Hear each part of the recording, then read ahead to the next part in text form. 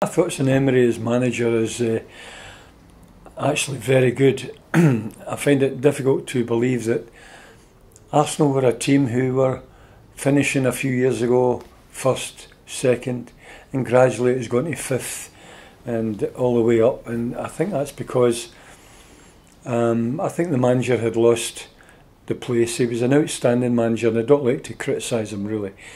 But at the same time, I think the last three or four years, it could have been a lot better.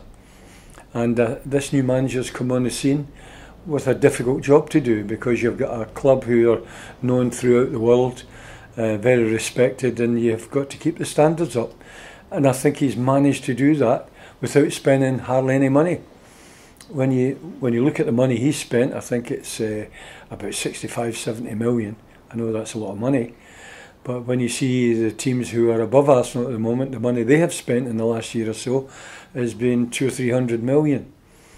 So um, yeah, Emery has done up till now a very good job, and I think he's capable of doing even better if the board get behind him. Arsenal have got two big matches coming up. You know they've got a, the big one is this Sunday, which I'll be at, and then the, the during the week it's uh, Manchester United at Man United. So um, I've just been saying how well Emery has done.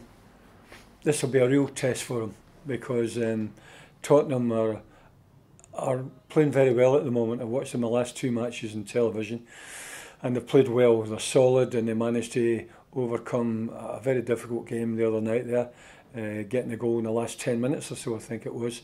That'll give them a lot of confidence coming to Arsenal. So uh, it'll be interesting to see how Arsenal cope with this.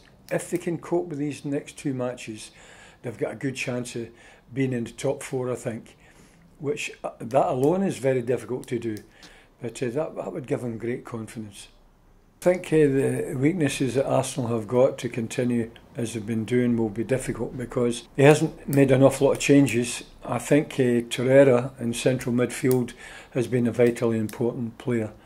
He didn't play very much when he first was signed on, um, but then he gradually came into it. But recently, he's turned out the kind of player that maybe we should have had in the last two or three years under Arsene Wenger. A defensive midfield player who can occasionally get forward as well, and he's got a good shot on him. But even though he's not very tall, he is a, an effective tackler and good passer of the ball. He's he's a good player. Um, I think Iwobi has come on well since the new manager has come in. Um, he looked a little bit tense at times. Iwobi trying his best, being a local lad. But in the last couple of games I've watched him, there's been a big improvement. Um, that doesn't mean he's cast iron going to be there this season and next year. I don't know. But if he continues the way he's doing, I think he can't go far wrong. That's he's doing very well actually. I still think they're they're a bit weak in midfield. I don't think it, that's a midfield. In my eyes, uh, Xhaka and Torreira and I like uh, Guendouzi, I think, if I'm pronouncing it right. I'm probably not pronouncing it right. He's done very well, I think, and uh, I think he's got a lot more coming from him. It'll be interesting to see how well he does.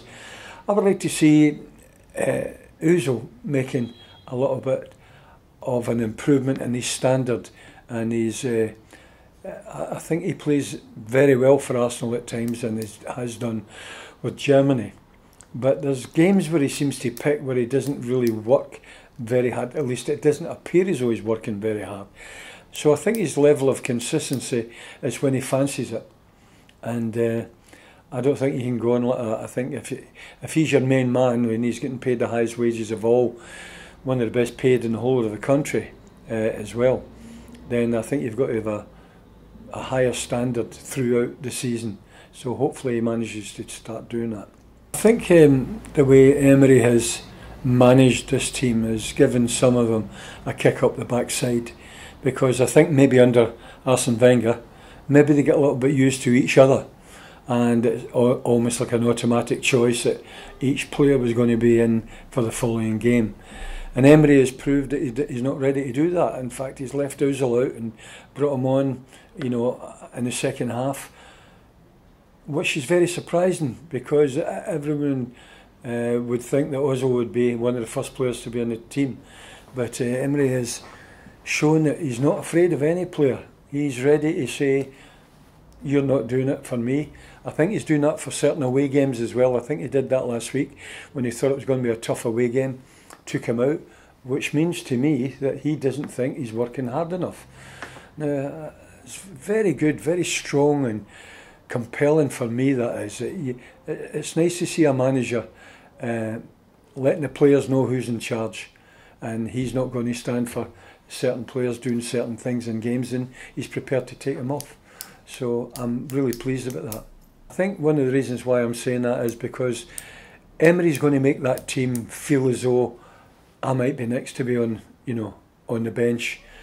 And that is terrific. If they get too comfortable, a lot of players, not everyone, but a lot of players get too comfortable. Um, they can very easily drop down in standards and their attitude and everything else. And I think he, by doing that, by leaving people like uh, Ozil out of the side, it was amazing. I can't remember Arsene Wenger ever doing that while he was here. So, um, all credit to him.